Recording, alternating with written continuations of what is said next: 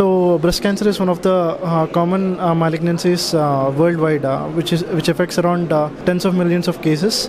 Modified radical mastectomy is one of the common surgeries that is performed for this, and uh, we have designed a surgical retractor which can help in performing this particular surgery, and any surgery that will involve raising skin, skin flaps.